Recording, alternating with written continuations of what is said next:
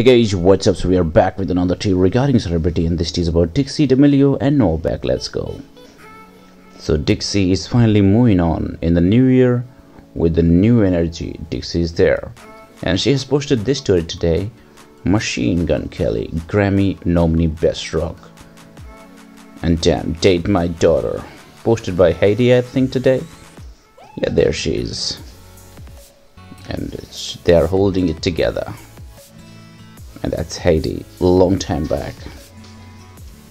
And look at Noah Beck today. He has posted all these photos today, so you can actually judge his mood right today, how he's feeling. Yeah, he's in jolly mood today, undoubtedly.